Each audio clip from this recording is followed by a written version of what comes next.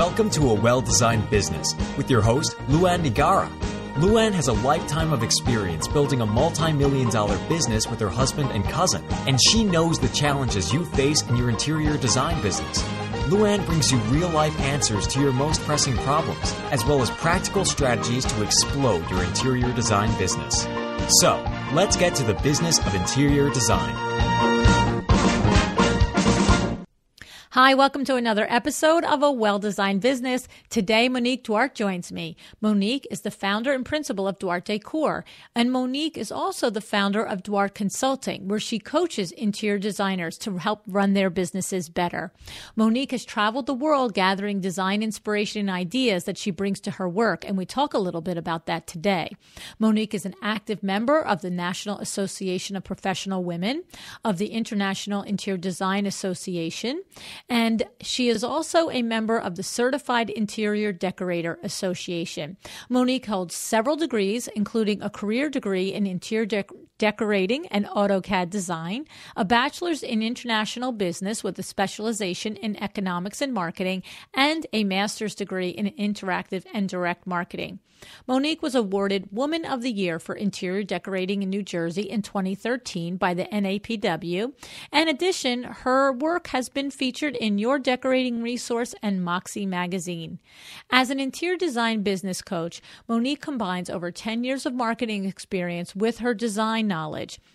She has five years' experience in running her own profitable seven figure interior design business, which in her first year, while she was still working in her full time job, she, she managed to have her interior design firm reach six figures.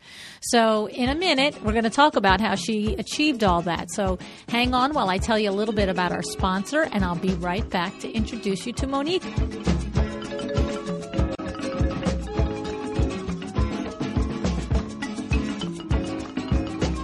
My great thanks to Mydoma Studio, our podcast sponsor. What is Mydoma Studio? Well, you know, as busy interior designers, that running your own design firm isn't just about designing. That's what we talk about here all the time, right? There's managing contracts, clients, payments, products, and a million other things that you have to have locked down. It is challenging, but you must run your firm efficiently so you can do the fun, creative things you enjoy so much. And that's where Mydoma Studio comes in. I'd like to invite you to try Mydoma Studio today. Go to mydomastudio.com slash a well-designed business. Designers around the world are using Mydoma Studio. What about you? Let Mydoma Studio help you organize the business side and spend more time on the designing side of your firm. I'd also like to share with you that Vin, Bill, and myself are so impressed with Mydoma Studio that we have invested in this company. So see for yourself what Mydoma Studio can do for your interior design business. And if you visit using the link mydomastudio.com slash a well-designed business, you will receive a special offer just for you as listeners of the podcast.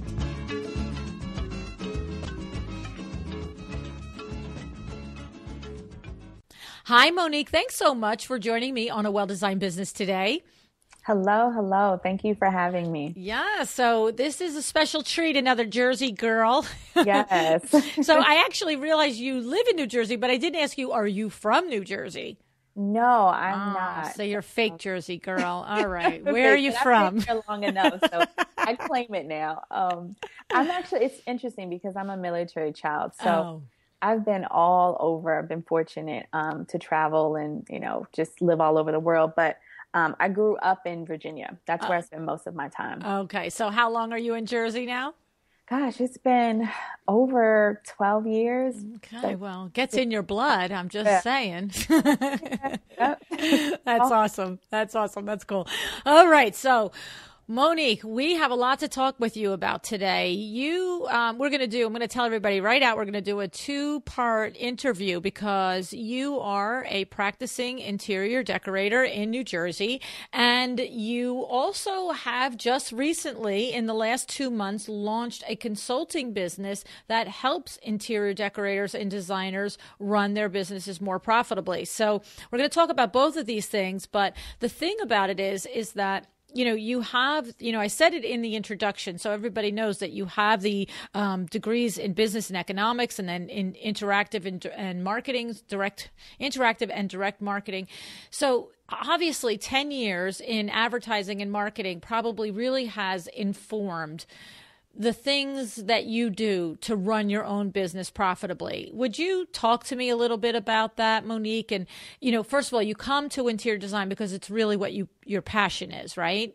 Right. Right. And so you leave the marketing world, the advertising world to open up your own firm, but you have to have taken like a ton of insights and lessons from that career experience and that education experience into helping your business be profitable probably from the get go, right? Absolutely, absolutely. Yeah, it's um it's definitely been a journey. I, um, you know, I I had this dream when I went to college. I actually went to got my bachelor's um, from the European School of Economics in London, England. So I left home at the age of 17. You know, I was a military child and I was just ready to travel. and I got really lucky. You know, I did really well in school um, and I got a full scholarship to mm. my university. And so my mother packed my bags and we were on a plane and we were on our way to Europe. And nice. I um I spent four years there doing my my bachelor's and you know, after that, I my dream was to go to NYU, and so NYU in New York City. And so once I finished my bachelor's, I quickly, you know, moved to New York, and I had family here in New Jersey, and so that's where my career started in advertising. Okay. And, um, I, uh, you know, finished my master's at NYU, and that was a great experience. And then I jumped right in, you know, to the industry. Uh, one of my first jobs that I absolutely loved was I worked for Yahoo for many years, um, running and managing and helping um, big brands that we know and love and use every day. Um, basically, you know, launch their products and market their products and their businesses, and I loved it. Like I remember, I would use I used to tell people that they're gonna have to like pull me out of there, kicking and screaming before I would ever leave um, because it was it was you know the other side of my brain that I was able to use, which is like the strategic planning part of it, um, and I just loved that. I loved solving problems. I loved you know trying to find solutions to you know issues or problems that you know big brands had and, and being able to bring their product to the marketplace so you know i did that and i loved it however you know after i want to say probably about after about eight or nine years in the industry um, I just, you know, I started looking for more. I felt like, you know, I was working a lot and although I was making six figures, I was making really good money. Um, you know, I was young. I was in my, you know, late, early, mid twenties, up into my my early thirties, and um, you know, I was making really great money. But it just, you ever feel like, you know, you just want more? Like you just, I felt like there was, there had to be more out there for mm. me. And ironically, I come from a very creative family. My grandmother was an interior designer, um, as well as my mother is an artist. She's a fiber artist and a quilter. So it's interesting because I always say that I got the I got the gift or the knack. I got it a little late. um, but you know, I guess they say better late than never because you know I started thinking about what else could I do. You know, I knew that if if I stayed in advertising and marketing for you know the rest of my career that yeah i would have a lot of experience and you know would have made a lot of great money but i probably would have never done the thing that i was really passionate about and what i felt like i was brought you know on the earth to do. So i did a little soul searching and i started you know thinking okay what do i really enjoy doing? And the only thing that i could really think of was the experience that i had when i had bought my first home. I had bought my first home um, right probably I want to say like my my junior year um, during my master's degree. And um, it was such a big accomplishment. And it was like all bare walls. It was like white walls. It was no frills. Like it was just a box. Mm. and, you know, at the time I was like, okay, I need to, you know, buy a house. I didn't have any children. I wasn't married. And so the tax, you know, the government was taxing me. so yes, right, right. so I bought this house and um, I decorated it from the top, to, you know, from top to bottom.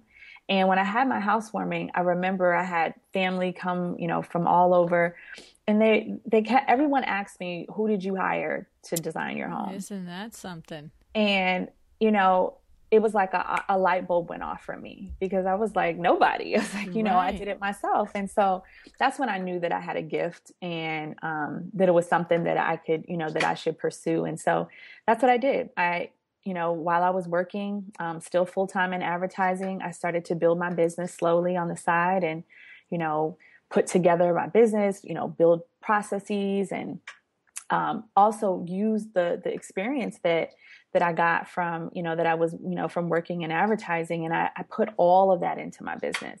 And it was a very interesting time because at the time that I was transitioning, you know that's when social media was just booming and you, you you, know you you were seeing small businesses be able to play on the same playing field as large multi-billion dollar corporations because of this wonderful thing called social media and the internet and digital marketing. So you know that was the space that I had worked in, digital mm-hmm. marketing. So, you know, a lot of companies were shifting their budgets from traditional marketing, which is, you know, like newspapers and, you know, billboards and, you know, TV and print, and putting all of their budget into digital marketing.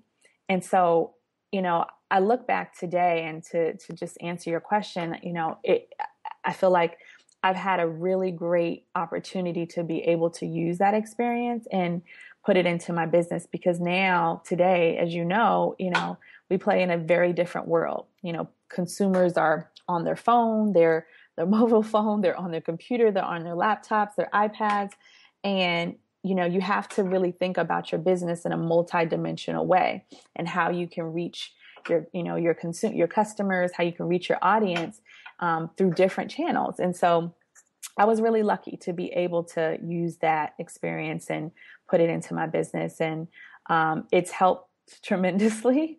And um, it's something that I really love, you know, because I did it for so long.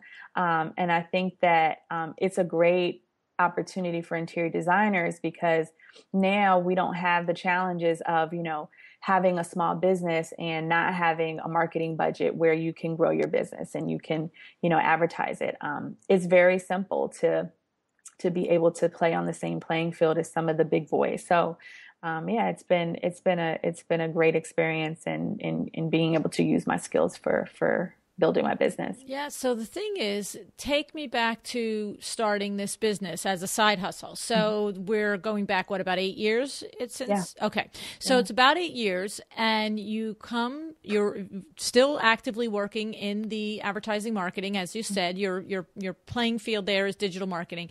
So one of the things that you understand, it sounds like to me right off the bat, is that it's not necessary for you to open this business on the side with a advertising budget of 10 20 30 40 thousand dollars or even two thousand dollars. You're like okay i'm going to utilize this free platform of social media and jumpstart this business. Is that is am i am i understanding it correctly? Yes, yeah. Okay, so so talk to somebody out there who is literally like this is it. The, the, line in the sand. Today is the day I start my side hustle.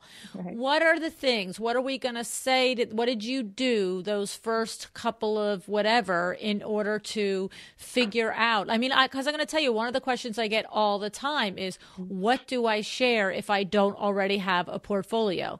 Right. So what what did you do, Monique? Right. That's a great question, and you know, when I look back um, I always say that for me, it was important to have a plan. You know, even if it was, like you said, not a, a large marketing budget, I just needed to have a plan. And so I didn't have a lot of money. You know, obviously I was, you know, working still and still had expenses and bills to pay. Um, and I was building this business. And so, you know, I had to put a plan together, figure out, okay, what can I, you know, put towards my business every month? to invest in it to help grow it. And the first thing that I knew that I needed to do was you know, let people know that I have a business, right? Right. Okay. Step one, shingle out. so, you know, and I didn't, obviously, you know, I didn't have any projects. So what I did was I actually went to my best friend and I said, listen, I'm starting this business and, um, you know, I need, I need, I need you to help me and let me help you in the same time. I said, I'll decorate your house for free. And I remember she had just bought her house and um, she said, okay, that's great. And I said, you know, I want to, I want to practice this. So the same way that I would work with a client. And so I said, you know, show me some pictures, send me scrapbook, you know, images of things that you like. Um, and she did that and you know I reviewed her her you know her her uh, her room her you know her different rooms we did the living room and the bedroom and uh uh, I went down there. She was actually in North Carolina, and I decorated her home. And I remember the picture that she had showed me in the magazine and the pictures that we took afterwards were literally almost identical mm. because she had said, "This is what I want my bedroom to look like. This is what my, I want my living room to look like." Um, so you know, I took that project, and that was my first project and I started showing it to people. now, did you did you take professional photographs of that project, Monique, or did you just take iPhone photographs? How, what did you do specifically? I took I took iPhone um, photos, so okay. you know I took my time and did it. But what I did was, you know, um, I created almost like a portfolio. So I remember I did like a video to just try and make it a little bit more interactive. Um, and, you know, I just started, you know, telling people that I was in business. And so from that one project, I got my first official project um, probably about, I want to say maybe six months later. And I got that project simply through building a really great website, um, showing, you know, sharing my, my services and kind of how I work. Um, and then I got this, I, it was through networking with a, a young lady um, at my church that um, I went to church with, and we were talking, and she's like, "What do you do?" And I said, "You know, I'm uh, you know working advertising, but I'm I'm starting you know this business." Um, and she said, "Oh, you know, I need my home decorated. You know, I've been wanting to do decorated for years." And so that was my official first project. Okay. And that one I did right. So I, you know, I, I remember I hired a photographer, um, and I, I, paid him about seven hundred. It was seven hundred and fifty dollars, and I remember at the time I was like, "Man, this is a lot of money." That's the truth, right? You're like, "Am I out of my mind?" one of the things, but it's worth it. Yeah, and one of the things that my mentor uh, told me, and uh, I got a mentor when I started out because I was green to the industry. He said, "You know, you have to take professional photos of your mm-hmm. work because your work is." your brand you know right your calling card in a very visual industry. So, you know, I listened to that and I spent the money and I invested it and I looked at it as an investment. Right. So the first thing is you gotta, you know, you have to, you know, just start somewhere. You know, put your framework together of your business, have a plan, and then get at least one project under your belt that's well photog you know that, that, that you take well um, really good um, photos of. And then that way you can start your portfolio. Let me ask you a question in there though. So the first project with the friend in, in north carolina when you said that you were taking pictures with the iphone and so, and so forth were did you do which way did you do it? Did you simply when it was done share on your website and your social media befores and afters or XYZs, or did you throughout the process start to feed it to social media? Here's a project I'm working on. Here, you know, this is how we're attacking this problem and document it in social media in the process. Which did you do? I did it afterwards. Okay, um, so you and- put it together. You took the pictures along the way, but mm-hmm. then put it together as. Did you put it together as a story, as a project, I as did. a process? I did. I, okay. I put it together as like before and afters, and what was really important for me is to tell the story and i like how you use that word because i feel like that's that's what we do right you mm-hmm. know we create transformation and so i told the story of you know this was the look that she was going for. You know, um, you know, we we you know collaborated on the project. You know, I listened to what she wanted, and this was the before, and this was the after. Okay. So I created that that that story. I like that in there because I've had a lot of people express what you just said in there is when you're sharing in social media, share it in a way and use language that relays your process. This right. is how we did this. This is what she was looking for. This is the, you know, feeling that she, and this is how I got to that because mm-hmm. instead of just like blop, there it is. It's share right. the process. Okay. So, so that was one thing. So I wanted to understand that. Mm-hmm. Um, the second thing I wanted to know is you said that you got a mentor in the interior design field when you started the business. Where did you get the mentor? On Facebook, actually. So tell us that process because somebody out there is going, I need one. Right. exactly. You know, I knew that if I got the information that I needed, that I could be successful. And so I literally went on Facebook and I started following people who I thought, in my opinion, you know, were doing really well in the industry. And I also looked for someone who was in my local area because I know, you know, I knew that I needed to have someone that you know, I could reach out to when I have questions or, okay. you know, when things, when I have, you know, need someone to, to help me with advice. So I reached out, I started looking, okay, I, you know, did a search and I reached out to, um, a gentleman by the name of Niall Johnson. And, um, we're still like, he's still a mentor to me today. And we, we talk and, we stay in communication. But I reached out to him and I sent him a note on Facebook through Messenger. And I said, Hey, I said, you know, I introduced myself.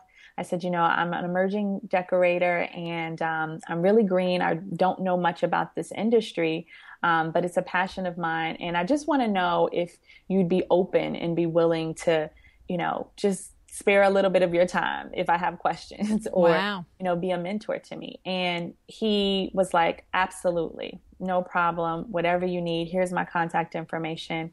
Um, he actually took me to High Point Market Wow. And showed me how to work High Point Market and how to attend it and, you know, maximize my stay. Um, it was just such a great experience. And I, I recommend that any designer who's starting out get a mentor or get a coach because it will save you so much time. Mm, right. It's and, the truth. It's just yeah. like anything else. You don't do it. You don't, there's not a lot of things that you, if you wanted to learn how to bowl for crying out loud, you wouldn't just pick up a ball and throw it down the alley. Exactly. You'd have somebody teach you how to do it. You know what I mean? But I don't know why everybody thinks you go into business and just do it. yeah, I mean, look at an athlete. You know, they have coaches, they right. have the best of the best. And it's not because they're not equipped right to be a good athlete. It's just because you know, someone's done it already. Yeah, they're going to cut through the weeds for you, so you don't have to, you know, invent all the problems and invent all the solutions. Half of them are already out there. So I want to ask you a couple more questions about the mentor. Sure. So you reach out on Facebook. You ask him if he would possibly be interested in sharing some of his time and expertise with you. What what happened next? I mean, he says yes, but what happens next? Do you then ask them a question a week, a month, a day? Like what level and how did you because to go from stranger and saying um, you know, can you help me? I don't know too many of us that would say no, but I can imagine there's be many of us that would say, "Oh heck, how long? What is this going to involve?" Like, you know what I mean? Like, you know, look, we're you everybody's running businesses too, so right. so then there is a a point where there's a dance where you build a relationship and you're not too much infringing on this stranger mentor, but cultivating a relationship enough that they don't feel overwhelmed and they're still feeling charitable and interested in helping you. And then it probably eventually gets to a point where it's a complete give and take and there's no weirdness there. But I mean, I'm just saying this is real stuff. So, how, how did you cultivate it so that, let's be in plain English, that you were not a pain in the booty to this man? you know what I'm saying? right. No, that's a great point. And, you know, that was one of the things that I asked him up front. I said, you know, um, you know how how comfortable are you are, are you with you know how often you know is it okay if I call you? And so you know smart yeah. you just asked him what his parameters ask, were. I right. love it. Yeah. I love it. call me. If I'm available I'll pick up the phone. And, okay so you, know, literally just said that. what are you comfortable with? Are you comfortable with a phone call? Are you comfortable with an email message? Did you ask how often or you just said how you know what I mean? I say you know how often can I call you I love it. How late can I call you? and he said, listen, he's like, just call me whenever you need anything. You know, if I'm available, I will definitely be there for you and pick up. Um, he said, "There's no limit. You know, I'm I'm here to support you." And that is really, really that's. Great. I have to say that's that's so amazing on both sides of that coin. The fact that you were smart enough and brilliant enough to just say what are the parameters, and you know that's way you don't cross any unknown line that you have no idea you're crossing, and right. the fact that he just was like open book and said whatever you need, call me. That's very generous. That's pretty awesome. Because yeah. you know there could be crazy people out there that could be calling him 10 times a day and he'd be right. like oh good lord why did i say that? And so so then let's how long how often did it actually um, usually pan out to be? How often did you require and, and need a little help or a phone call? Was it once a week once a month? How did that develop? Yeah, I think it was probably like a couple of times a week because at the time I was actually um, working on i was doing my interior decorating degree so okay. you know i had questions and i was also building my clientele mm-hmm. so yes so you, you were know, learning and doing and doing at the same time so sometimes you needed to cut through to like what they're going to do in chapter 10 because you're doing exactly. it today with the client exactly so i remember like having a a, a, a consultation with the client it was like my first consult and I was like, okay, I don't even know what to ask. Like, and I called him and I said, what questions do I ask? you know, so things like that, I would call him and he would walk me through, you know, okay, this is the best practice. This is the way to do it. Isn't that something? That really is really. I'm really. Uh, that's really, real. What a gift! What a gift that you received. Absolutely. Truly. Yeah. Yeah. Yeah. And I think, you know, you have to find someone who obviously has the time and who's willing to, you know, support you. Um, but one of the things that he said to me, and I live by it today, is that there's enough to go around for mm. all of mm. us. Yeah. And so I was, you know, I feel like I was lucky to get someone who has that perspective because to your point, you know, someone who who, you know, doesn't have a lot of time or, you know, doesn't have that perspective, you know, it could be challenging to have a mentor like that. Mm-hmm. But he was, you know, he didn't look at me as his competitor. He looked at me as someone who he could pay forward to mm-hmm. the, the success he's had. Um, and that, you know, it wasn't going to take away from his business. You no. know what I mean? Right. It was just really going to help, um, help, you know, help me and help our industry because I believe that when we're all practicing um, and at a, at a, level of excellence that our industry is better, mm. right? And there's enough to go around. Like our industry is an 18 billion dollar industry. I've done the research, so yes. that's a lot of money for that's all of us to go. it's a pretty nice pie to divvy up there. no, I agree with you 100, percent Monique, because the reality is is that first of all, you're at two different stages of your career. Okay, secondly, you're let's just go here. You're a, a marketing advertising professional. You know darn well that your target client is different than his, whether you are the exact same stage in your career or not. Your personality is different, your whole approach is different, and and that's the thing that is really at the heart of a designer who is feeling overprotective and overly cautious about sharing for fear of competition. It the heart of that is not understanding that there could be one prospective client in the room and she's probably only going to ultimately gravitate to one or the other of the two of the designers having nothing to do with if she had you know what I, you know what I mean? Like if you only gave her one choice or not. If she only gave her the choice of you she still might not pick you if there's no other choice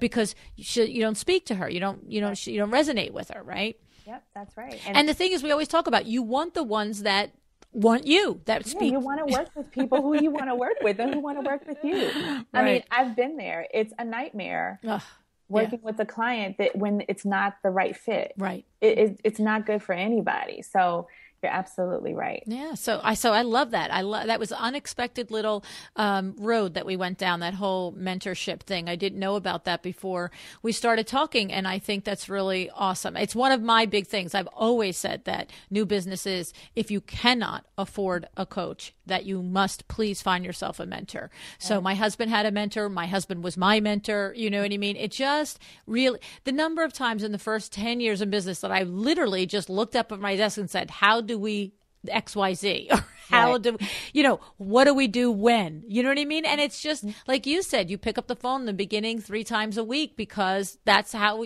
that's how often you need to know something. Right right so right. and we came up without google so i couldn't just google it. Right, right exactly. You know had to find a living body to answer the question. Probably better. Anyway. Right?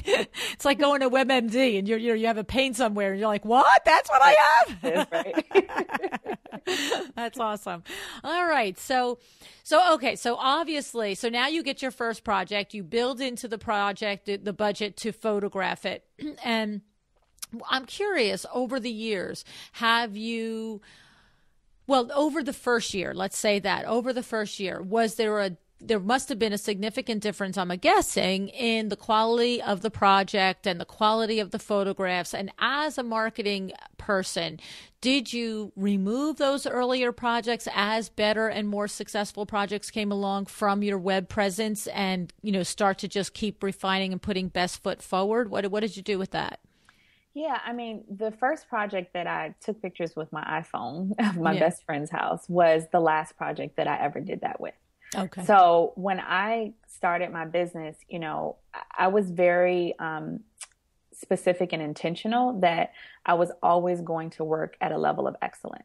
Okay. Like I didn't think that oh because I'm an emerging designer I'm just starting that oh I have to you know good enough is to, good enough exactly right yeah I, I, mean I could I, I, I believed you know that I could play at the same playing field right mm-hmm. I just had to get the experience so um yeah my first project like I said I paid a photographer seven hundred and fifty dollars right, right. to do it because I knew how important that was. So, um, you know, I just I just kept that going and you know started doing more projects and I used that project, you know, the photos and the the you know the the project from that um from that experience to get more clients and showcase my work and then it just was like a snowball effect. Right, right. kept going. So tell me about on your website, you have under services, it says local experience and global experience as 2 mm-hmm. different options. Mm-hmm. Is this for marketing purposes?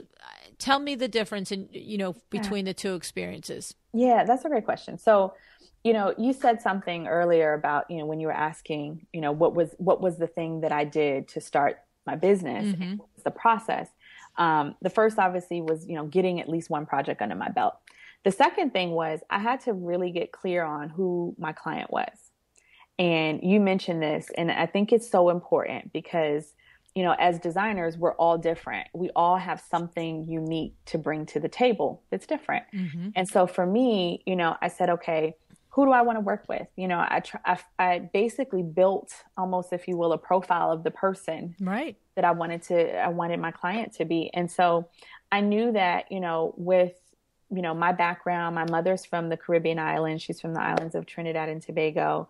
Um, and me being a military child and, you know, traveling, um, throughout my, my entire life is from a, a, a baby. Yes. that, um, I had something unique to bring to the table. And that was that you know, I really understood cultures because I've been pretty much almost not everywhere, but I've been a lot of places. And, you know, I love, um, you know, talking with people and meeting people from different places all over the world. And so I knew that that was different because I had, I had experienced a different lens that I think than other people have. Mm-hmm. So when I started thinking about who my ideal client was, I said, you know, I'd love to work with people who are local, so local in my area, um, in my state, but I'd also love to work with clients globally, you know, clients all in the Caribbean, in Europe, and other places.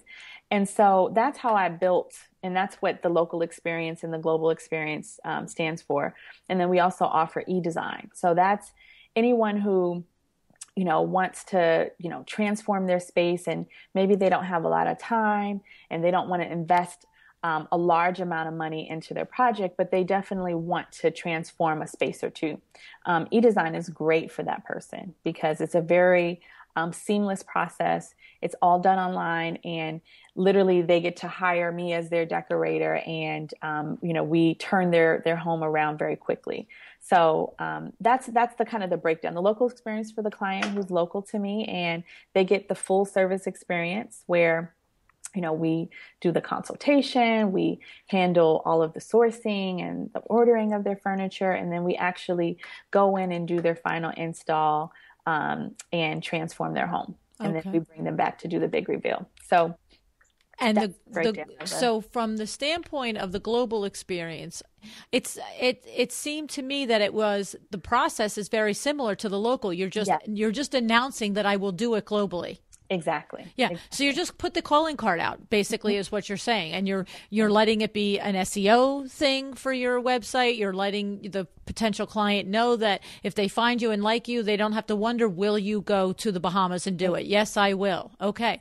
So it's really, it's it's it's it's not a different service is what I'm, I'm I'm understanding. It's just literally labeling it so that people can come to you for it. Exactly. I yes. love it. I yeah. love it. Okay, I love it. I think it's awesome. okay, so now let's talk about it's I can understand how and why you transitioned into um, coaching interior designers. And I mean, just in the course of this half hour conversation, it's completely clear you're completely capable of it because what I'm hearing is, is that you've analyzed every step of the way of what you've done. You're able to express it. You're able to understand the processes of it. And so what you did now just recently in the beginning of 2017 is you've now quantified this and put it together in a coaching service for other designers and decorators. Yes. And, right. And called, you have it, it's called Duarte Consulting. So within this, what I noticed is that you also came up with an eight, the eight uh, key steps to building a profitable interior design business. Yes. Awesome. So I love it. So let's walk through the eight steps. What the first one is self and client discovery. Talk to us about that for a few seconds. Yeah, so this is so important because you know, it, and this is like marketing 101. I remember, you know, working in advertising and the first thing that the conversation that we would have and i'm talking about you know being in a room a boardroom full of you know marketing executives that are very high level and the first question that I would always ask was, who's your customer? Mm-hmm. Who are we selling to?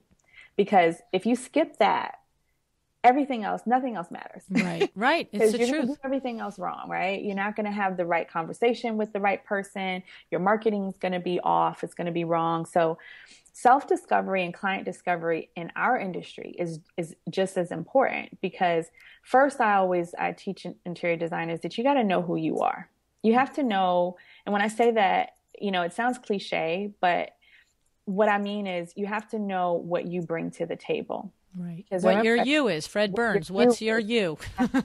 we're all unique. Uh, and I'll give you an example. It's not. It's not coincidence. I know that it's it's on purpose.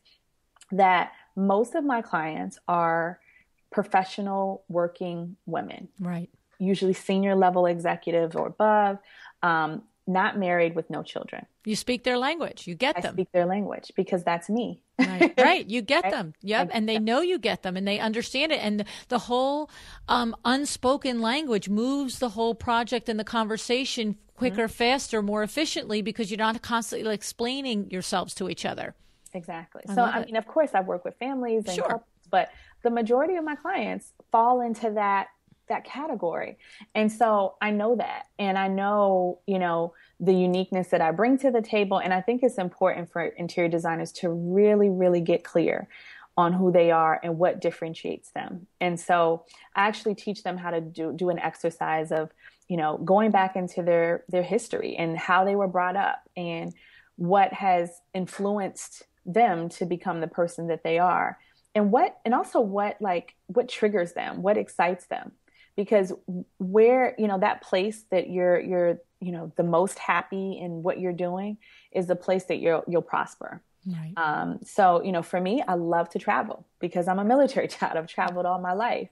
And so that's why i have the global experience. That's right. a service that i offer right? So that's something unique right? So i always teach you know designers to to figure out who they are. And then obviously once they get that clear then the next step is you know figuring out who do you want to work with like, right. who are you going to resonate with? And that's the whole client discovery process. I love it. Okay. And then the next uh, step is branding and marketing, which we sort of talked about a little bit about now. Once you, like you in your case, discovered and understand that you love the travel and that's your, you understand cultures and you have a lot of experience with cultures. So you brand to that and you market to that. That's pretty cool. And then the third step is systems and processes. So when you coach interior designers, do you, have a set of systems and processes that you share and advocate that they use or do you is it more like you sit down and you figure out what they're using and help them be more efficient within the systems that they're employing? Yes option b. So okay, because every every business is different right? Okay. um, and we all are going to do things a little differently. So what i do is i help them figure out and actually i teach them how to create processes in their business. And then I also um, recommend and teach them which what systems to use and implement based on you know how they plan to market their business and grow their business okay so for instance you might have access and understanding of you know say four different software programs whatever it is that you mm-hmm. might suggest but once you get to know this particular interior designer you might say you know what i just feel like this one is going to serve you best or this right. one is you're going to be in, more comfortable for you to do okay exactly. i like that i like yeah. that because i come from the tech world you know it's in my blood. Like I always have my ears and eyes to the industry of technology, just, you know, specifically to interior design now. And so um, there's a lot of really cool stuff coming out, like, you know, 360, um, you know, degree, uh, you know, renderings and just, you know, just really cool stuff. So I'm always, you know, looking out to see what's next and you know sharing that with interior designers so that they can stay cutting edge in their business because that's important but what I'm hearing is you take into account the individual interior designer's yes. level of ability and techness and all of that stuff so that you're not like just saying, okay, drill sergeant, use this program. Yeah. You're like, okay, this one will work for you and they'll just make it better than what you're doing already. I like that. Okay. Yeah. And also train how to use the systems because mm-hmm. that's important. Mm-hmm. Um, you know, because not everybody is at the same level of tech using technology. So, um, some of the things that I do is I'll, you know, for example, if I recommend a CRM program, which I typically do, um, I'll actually do a, a uh, webinar presentation or you know a walkthrough demo to actually teach them how to use it and how to set it up for their business. That's good. That's good. Yeah, you'd have to do that if you were going to recommend anything like that to me, because otherwise, I'm just going to have the darn thing. It's going to sit there, and I'm never going to open it. Even if it's completely easy and it literally, it, you know, a four year old could do it. Until you sit down with me and make me do it, I'm not going to do it. So, okay. it's a saying that say that says, you know, confused people do absolutely nothing. Yes, that's that's so. what happens. It's like, oh, or what's ni- what's nice for me is I have Kimberly and Adriana. I'm like, you guys figure right. it out and then teach it to me. so, and then your number four is packaging and pricing. So you have a conversation with them with things like what is their package? Like yours is the global experience, and what could theirs be? Is that what you mean? And then how to price these different things? Yes, it's it's interesting because a lot of designers have the question of how do they how do they package their services? Mm. Like a lot of times they don't even know where to start. Right. And so we talk a lot. I teach that and you know how to actually create a package. I actually just did a a master class on this on because it's so powerful. Like the way you present your services and your business means everything. It means it's it's the it's it is, you know, the equivalent of if someone's going to buy from you and, and work with you or not. Right. All about your presentation. And so packaging is important. And so I teach how to actually look at what you offer, what you have to offer that's unique, because we know it's unique, and what's the best way to present that to your to your audience. Um, and then we look at okay, now that you know what your services are and what you have to bring to the table, you know, and how to package it, what's the price point? You know and and that also goes back into the work that you we've done previously of understanding who your your who your target is. market is right yeah. because depending because you, on where you price it is mm-hmm. where you're going to attract right exactly exactly, exactly. Yeah. So no, it all works together. No, I love it. I mean, and I think that you know, do you do you know Veronica Solomon? Yes. Yes, right. I, I always use her as an example because I she one of the first design not that she was the first designer to do it. She was just one of the first designers that i came across that really when i met her and i was preparing to interview for her um, interview her i saw all the different ways on her website that she packaged yes. things for for uh, you know potential clients. And i just thought that it was so awesome. And the thing is that it's not for everybody. Like you said t- figure out your target market and la la la. But what i loved about it was when i thought about it as a consumer it was like oh oh you mean i can have a professional interior designer just come and help me do paint colors and I could just click on that button and I can set that appointment up and I can just pay for it and this can happen like I can this can be off my to-do list today. Right. I I thought that was genius. And yeah. you know what's going to happen? You're going to get it Veronica's going to walk in your house, you're going to love the death out of her. I mean, let's be real and then your next thing you know, you're probably redesigning your whole darn room. Right. that's how it happens. exactly. So I think that's great, but I do understand that it's challenging to figure out how to do it. And so that's really awesome that you include that in your coaching steps that you take the time to figure out if it's a right fit for that design firm and if it is how do they go about putting it together and pricing it? So that's terrific.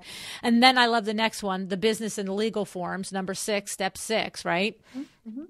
Have to have those set up. And then what do you do there monique? Do you have um, uh, what's the word I want? Set forms, like um, you know, what's the word I want? You know what I mean? Like pre-made forms that you share with them that they can use, or do you suggest that they work with a lawyer and set up their own firms? How do you work that out when you're coaching? Yeah, so I always like to provide examples, right? Because mm-hmm. I feel like if you have an example, you can take that example and then make it and shape it for you, know, into what you need, right? Okay. So I, I provide examples, and then I'll I also help them dissect their business and say, okay what are the things that you know what are the types of forms that you need because there's a lot of different contracts mm-hmm. out there mm-hmm. that interior designers can use um, but what do you need for specifically for your business so we take a look at that and then you know i help them with shaping and then and i say you know you obviously i recommend that they you know work with a lawyer just to make sure that the terms and everything that they need to cover them um, is included Okay, right. So it's the whole, you know, I, I play a doctor on TV, but I'm not a real doctor. You help them right. all the way through it, but then you give them advice that they should sit down with their lawyer to just Absolutely. go through it and, and acknowledge and make sure that they're all, you know, kosher. Okay. I like that. And then your number six key is sourcing and selling. Mm-hmm. Tell us yeah. about that one.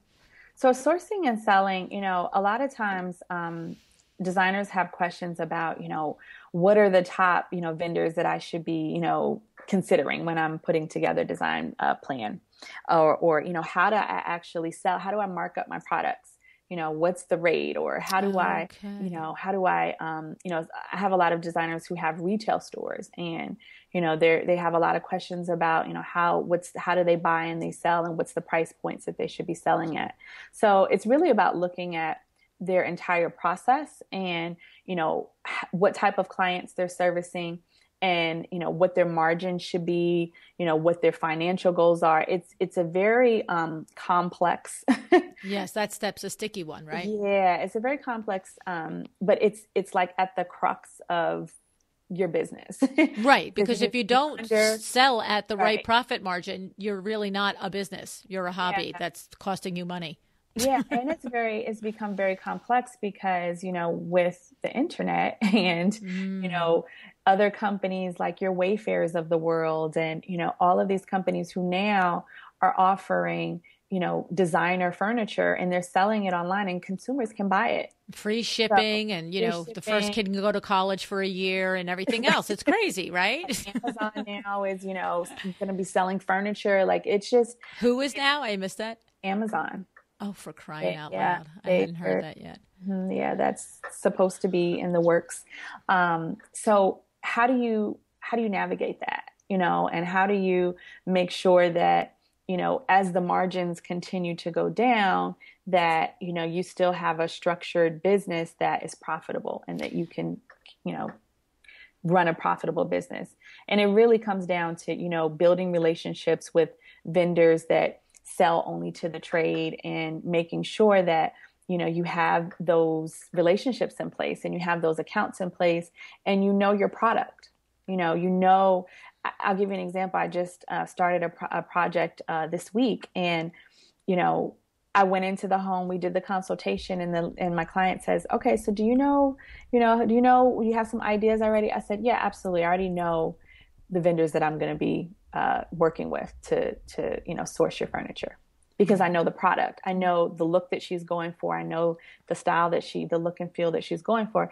And I knew immediately who I would be working with. Right. Because you're right. Because you really have a, a, deep knowledge of what you're, what's at your disposal. Exactly. So, so it's funny that you mentioned, um, the, you know trade only sources i just had a conversation a week or so ago with a designer that here in new jersey that i do her window treatments and Mm-hmm. She said to me, she said, you know, this woman is driving me crazy. She said, because every single time I spend time with her and come up with an idea and come up with a layout and make suggestions on furniture and this and that and the other thing, she said, I include everything so that we can just pull the trigger and, and place the orders and stuff. And she always says, Well, I'm going to think about it. I'm going to let you know, and this and that. And she goes, And then never fails. Two, three, four days later, I get this email with all this list of, I found something that looks just like that here I, at this, at, you know, at Wayfair or this or that. And it's this much cheaper and it's that much cheaper. And I'm just going to like place the order for these things, right? and, and of course, not very seasoned obviously right. right, this this designer. But the thing is that is what happens to mm-hmm. an unseasoned designer. And so what is what would you have said to her if she was expressing that frustration? Because she said i i don't know what i'm going to do. I've been working with her for so many months and I, I, nothing, no project ever gets off the ground. It either there's always follows up with a list of things that she can get that look just like what I suggested, or you know, a whole litany of stuff from Pinterest or or Houzz or something else that you know is this looks like what you said. Can I just order this? Right. What do you What do you say to her, Monique? Oh, I'm so glad you asked that question because I get that all the time, and it is a direct reflection on um, not setting the expectation right, right. of how you work. Okay. You know, the first conversation that I have with clients is how I work. and it's not a, a dic- dictatorship conversation. It's just, this is how I work.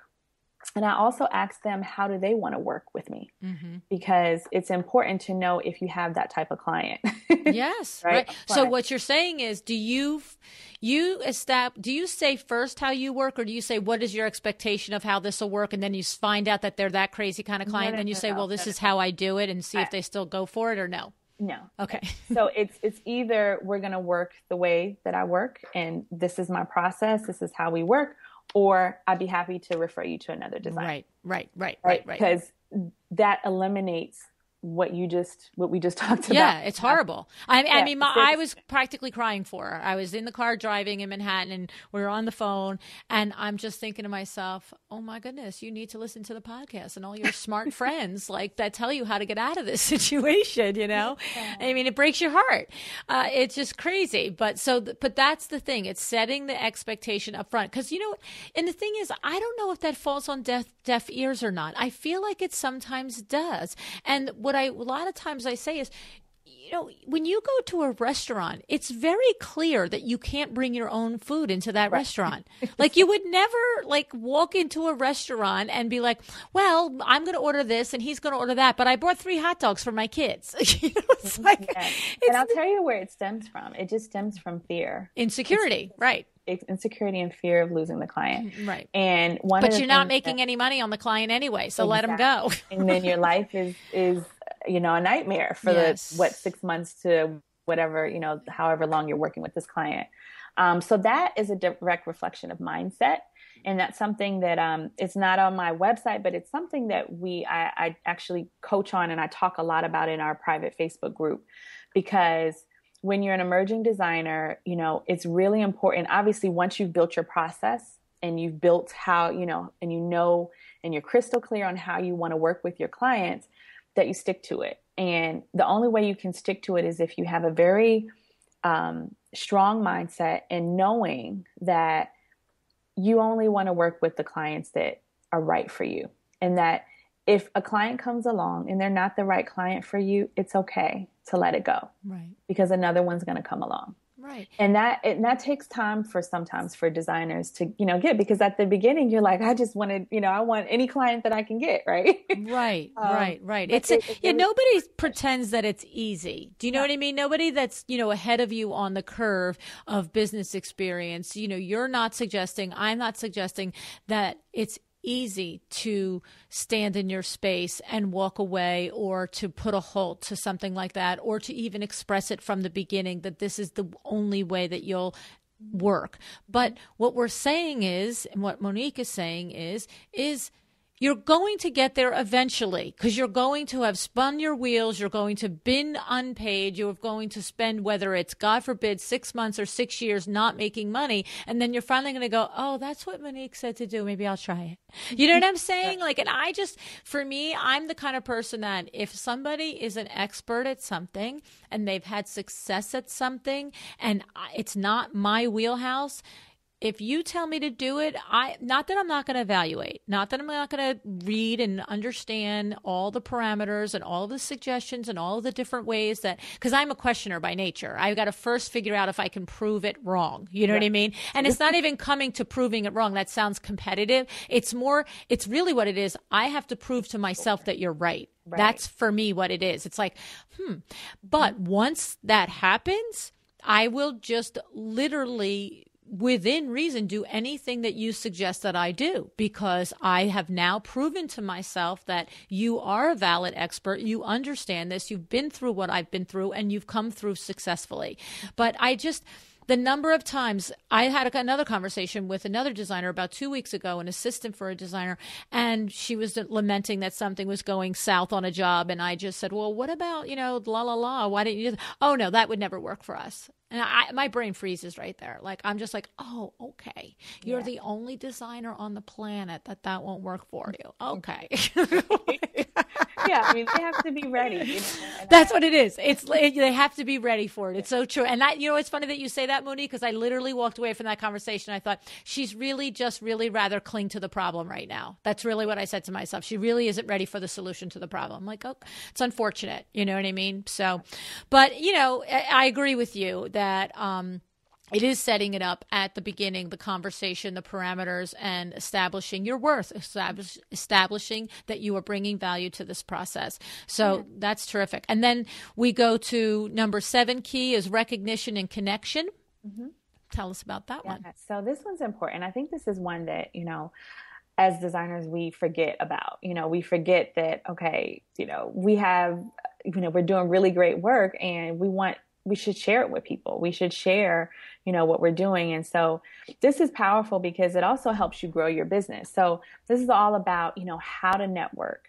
You know, what are the right events to go to? Um, I'll give you a story, a really quick, tell you a quick story. A friend of mine, um, you know, came to me and she was actually in, uh, in the coaching program and she said, you know, I really want to, you know, I want to get really high end clients. And I said, okay, well, how are you know what are you doing now to get high end clients? What are you doing? Where are you going?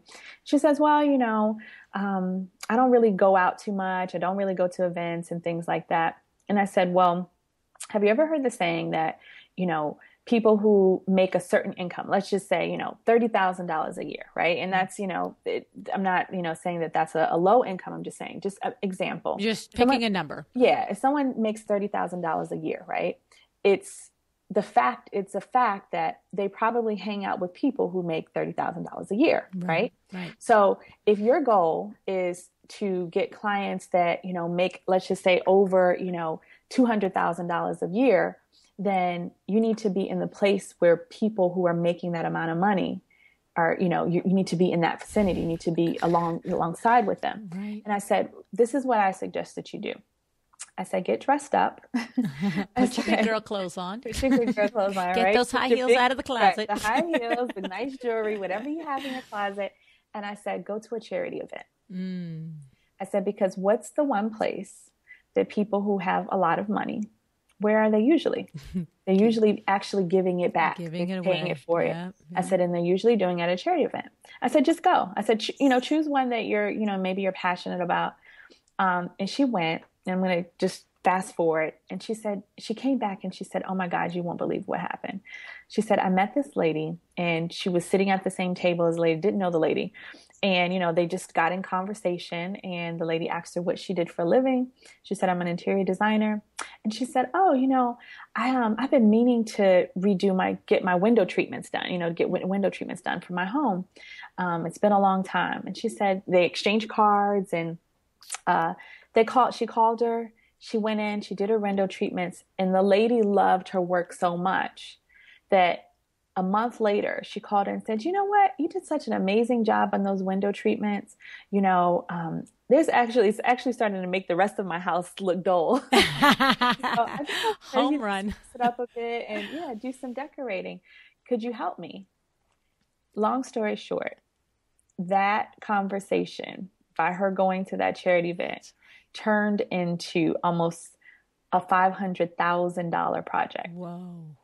Isn't that something? So that's the power of connection and networking because when you're networking with the right people, your clientele, right? And even even even networking, I, I always recommend, you know, becoming a, a member of organizations in the interior design industry because I can't tell you how many times I've referred a client to another interior designer, either because I'm booked or, you know, maybe it's just not the right fit, you know, and I have someone else who I know who could do an amazing job on it. Right. So you, connection and people and building relationships is like so, so powerful and it's so important. And there's an art to it. So, you know i teach how to how to do that where to go you know what are the organizations you need to be a part of. And then also you know what trade shows to attend. Because when you have education and you know exactly okay what's coming up what's the new trends and you're around you know people in your industry you know it just it just it just helps you grow your business and have resources at your fingertips. So it's it's really important to network. I teach you know trade shows. I also teach um, you know what uh, contests to submit your work to, because remember we're in a visual industry, mm-hmm. so you could have all you know all these amazing projects that you've done that you've spent money you know uh, taking you know photos of, but if no one sees it, right, no one knows point? you exist, right? so point? you know I also um, you know share and I teach you know what are the different contests that are going on and you know, Sherwin Williams and all the big companies, they always have, you know, interior design contests and things like that where you can submit your work. So I think it's a, it's a big afterthought, um, but it's a, it's a marketing tool, but it's also, you know, just a way to, to grow your business and it's super important. I love it. I love it because in this age of, you know, social media and everything being digital, there is a lot to be said for mm-hmm. being present at the different events and whether the event is a networking trade event or like you said, uh, a charity event where you have an opportunity to make relationships with the people that who could potentially be your clients. I mean, that happened to be a very, very fast turnaround to go to one event and meet one really five, you know, $500,000 client. Awesome. Right. But the truth is, it might be that, like you said, to pick maybe possibly a charity that you have some emotion and passion attached to. And what happens is you might go to one event and not meet any but any new client. But if you become involved in that that charity. And now you are swimming with the sharks who are at that level. The women and the men who give their money and their time to events like that are usually of the you know higher disposable income and you know you you make friends and mm-hmm. then you become somebody that they refer even if they don't need you so and i also love that what you said is because we always talk about how every client isn't always going to be a right fit for you. And we joke and we you know we, you know we do things here where we like you know pretend that it's because they're crazy but it's really just because their personality doesn't mesh with yours. There is somebody for everybody. And if this were a podcast that went you know out to the consumer, we'd we'd cut it cut it back a little bit with the joking around about it. But the reality is is that I absolutely know that somebody's crazy pants client is somebody else's dream client. That's I mean it's just the truth, you know. Exactly. So yeah. it really it's a it's it's a joke, but it's not really intended or meant to be disparaging because we all have. I mean, uh, look, I'm tough. I'm tough to sell to. I know I am, but when that right salesperson you know i connect with that salesperson is that's great. But um you know so i know it's it's you know somebody else would say i'm crazy lunatic and somebody else would say she's awesome. So keep the ones away. our gifts you know the gift that you have and the uniqueness. For example you know there's an interior designer who's a good friend of mine and she specializes in feng shui design. Mm. now you know, that's not my thing. Right, right, right, right. so if I had a client who came to me and said, okay, I need help with, you know, feng shuiing my home, I would immediately refer them to her you know, right. or someone else because she's not that she's a bad client or I'm, you know, uh, you know, right. It's, it's just not your skill set, right? Yeah. I mean, somebody could want a kitchen done, and maybe that's not your skill mm-hmm. set. And so, but by being active in the different organizations and the different trade um, scenarios and so forth, and you meet your colleagues, then you have an opportunity to refer to and be referred by. So, I think it's awesome. And then the last one is finances and income streams. So, of course, you know. yeah. you got to lock that down. so, yeah, this is the one that, you know, to be honest, like it was the one that I struggle with the most. Mm. And I'll tell you why, because, you know, coming from working in the corporate space for so long, I had an employee mentality. You know, mm. I was used to, you know, living paycheck to paycheck, you know, getting paid, paying my bills and maybe trying to save a little bit here and there and, you know, doing it all over again every month. Mm-hmm. And a lot of times as designers, you know, we take, we come into this industry with that same mindset. And so what I learned uh, over the probably say the first two years is when it took me probably about the first three years. It took me that long to grasp the science of building a business and managing finances in our industry. Because as you know, you know, there's no set pay schedule. You know, right. you might have one client or one project today, and you might not have another one for a couple months. Right. Um, so you have to really get good at cash flow. So in managing and budgeting your business, you know, understanding what you and setting goals in your business so that you can, you know, really um, manage your cash flow. And so that's what I that's what I, I teach. I teach, you know, how do you maximize your revenue? You know, how much do you ask for? How do you, you know, uh, price your services and then how do you make that that you know that income that you make how do you make that you know last and you know cover your expenses? Like how do you budget your business? So great I, I lessons. about that. Great lessons because yeah. you know we you think about a more mature firm and we we what i often talk about and and lament about is the robbing Peter to pay Paul. And that's the Achilles heel a lot of times of a more established firm because there is cash flow, but they're not managing it properly. But there's always something there. So they're taking deposits on one project and paying balance dues on another project and maybe not necessarily, you know, keeping things, you know, straight. But that's a whole nother um, problem separate from an absolute out the gate firm that there's a, a project now in April, but maybe I don't have anything in the pipeline. And what if there no another project doesn't come until August? How do I manage and run the business through to that? So that's a different, a particularly different challenge. So I, I'm glad that you address that in your coaching with designers. That's uh, pretty terrific because that's that's that's key. You got to get you got to get to it. you yeah. know? And I'll tell you, I read a book that literally changed my whole business mm. from the from a financial perspective. It's called Profit First. Oh, whoa! You don't know what's so funny. You you know what's so funny is I literally I told you when we started this conversation that I finished an interview four or five minutes before you and I started. Yes, it's a Power Talk Friday on on Profit First. Oh my gosh! wow, that's awesome.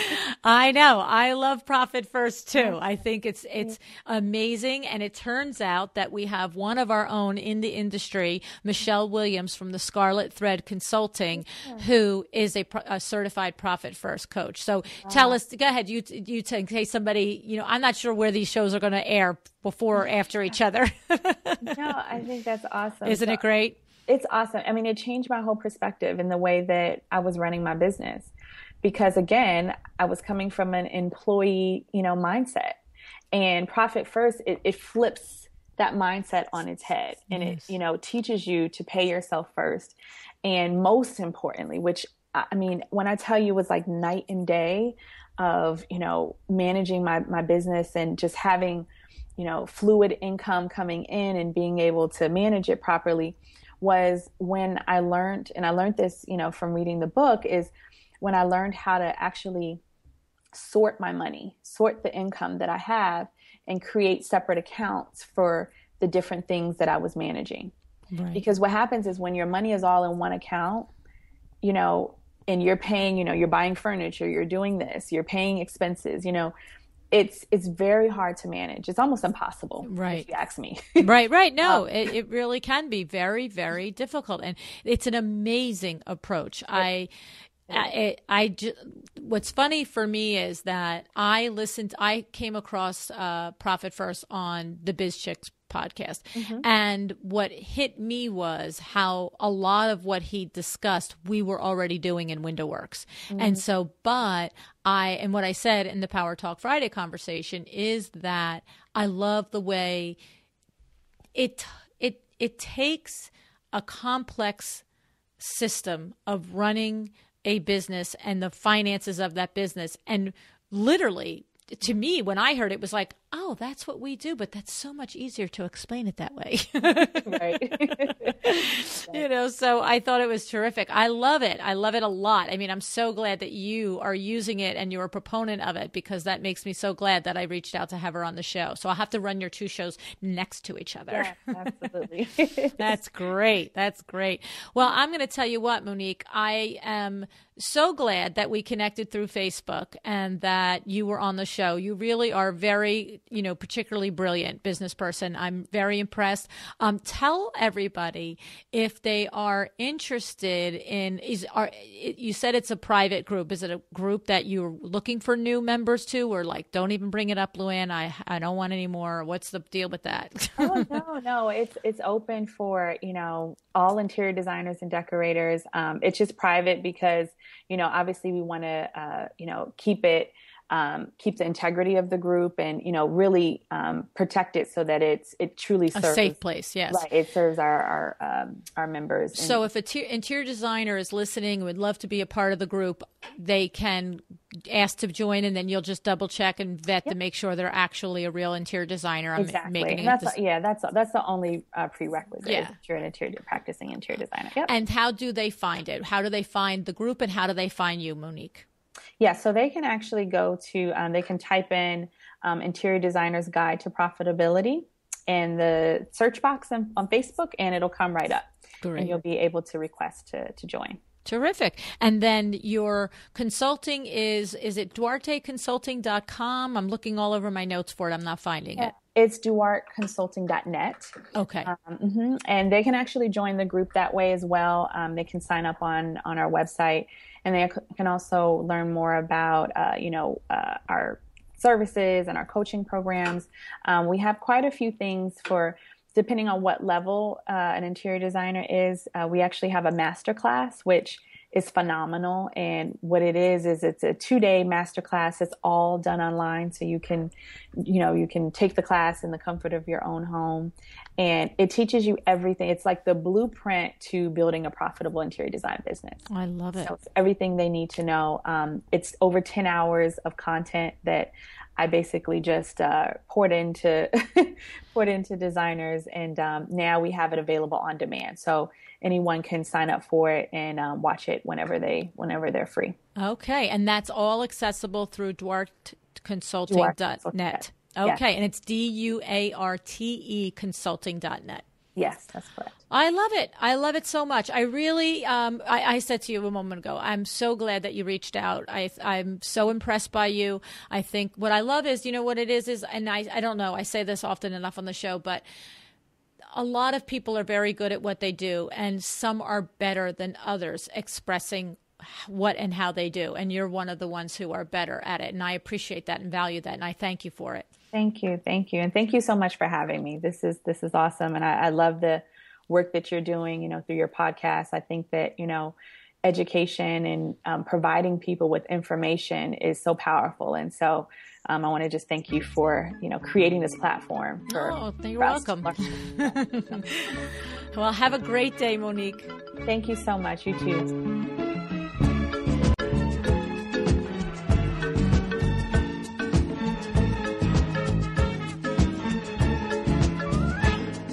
My great thanks to the featured sponsor of our podcast, Kravet Inc. Of all the terrific things about Kravet, do you know about curatedkravet.com? I know you've heard me tell you all about it for this last year and a half, but have you taken a minute to really go and look and check out curatedkravet.com yet? You have to see this collection of the most unique, high quality finished products for the home. The collection includes furniture, lighting, bedding, rugs, accessories, and more. It is so comprehensive. It features customized designs as well as unique hand-picked pieces from the global design market. CuratedKravet.com is available exclusively to the trade. That's right. No direct consumer purchasing. They have your back at Kravet Inc. And have you checked out the innovative ready to ship upholstery program? This is groundbreaking in our industry. Where else can you find someone that delivers custom quality furniture fast? I'll tell you where else. Nowhere else. You see, it's the combination custom quality and fast. That is at curatedkravet.com. You can shop the site by product category, by stylized product stories, and through the curated rooms designed by the industry tastemakers.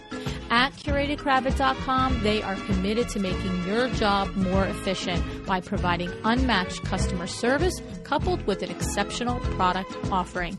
Kravet Inc. stands firm in their mission to serve the interior design trade at the very highest level. And the last and one of the most fabulous features is the process is so simple. That's right, design, click, deliver. Easy as that. One last thing. Kravet Inc. has a thank you to you as a listener of the podcast. If you are on the site and you are ready to make a purchase, any one purchase, you can get 10% off as their thanks to you. Enter the code CK Podcast at checkout for 10% off any one purchase. Well, I do thank them very much, and I really do hope that you will take a moment to see how curatedkravet.com can help you run your business more efficiently.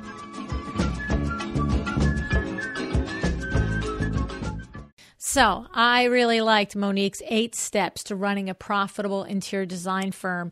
You know, it's not rocket science, right? It's, you know, we've talked about most of these steps at some point or another in this last year, but it's sort of nice to have that list right in front of you and you check it off and evaluate it. Are you getting each of these done. So um, keep in mind that Monique has a lot of information available to you as interior designers on her consulting website, which is www.duarte consulting.net. It's D U A R T E consulting.net. She has online classes for designers, and of course, she has that free PDF of those eight steps that you can download. Now, here are some of my takeaways from the conversation with Monique. First is she does exactly what Fred Berns teaches us to do. She expresses the things that make her different from other designers. Her you, right? Fred talks about what is your you. She was raised as an army kid and she traveled the world and she puts this all over her marketing. She talks about the global influences in her design and her in her coaching business she includes the marketing information about her previous career in marketing and direct marketing and um, she explains how and why that makes her different from other business coaches. So I'm just saying high five Monique for getting all that in there. Then how about finding that first interior design mentor? I love how she did it. I mean, here it is. She simply asked him. That's genius, right? Now, she was lucky. She obviously found, just by chance, a very giving and talented mentor. So I realize you can't know if the one you ask will say yes or if he or she will really be a gracious mentor. But the lesson is twofold. If you need a ma- and if you need a mentor, maybe just reach out and ask someone you have something in common with. If you are um, in a place in your career and you've crossed paths a couple of times, and maybe you could ask them if you could get together or could get together through Skype or whatever it may be. And then don't forget about the other side, which is if you are asked to be somebody's mentor, and I know we're all very busy, but you know, figure out a way that the parameters could work. And of course, that's the third part of it is setting up the parameters, the agreement, so that neither side feels uh, uncomfortable, right? And I, and that's how you set up a really great situation. So I love that she did that for herself. And then I also love that Monique mentioned the book Profit First by Mike Michalowicz. This is a great framework for running your business. And this week on Power Talk Friday, Michelle Williams is back from the Scarlet Thread Consulting to explain all about the profit first system. You'll hear me on that show tell Michelle how when I first heard about profit first, I was listening to the Biz Chix podcast and Mike was being interviewed by Natalie. And I was so present, pleasantly surprised to realize that without having a name for it, that we were already employing many of these profit principles at WindowWorks. So I can tell you that he makes a lot of sense and Michelle is a certified profit first coach and that's a great episode. So awesome that Monique has set her business up that way too. Alrighty, so thanks so much for joining me. Remember how much I value and appreciate your iTunes reviews. And if you have personally not left me one yet, would you possibly think about doing that? I would be very, very, very appreciative. Um, so that is it for today. Thank you tons for joining me. Have an excellent day.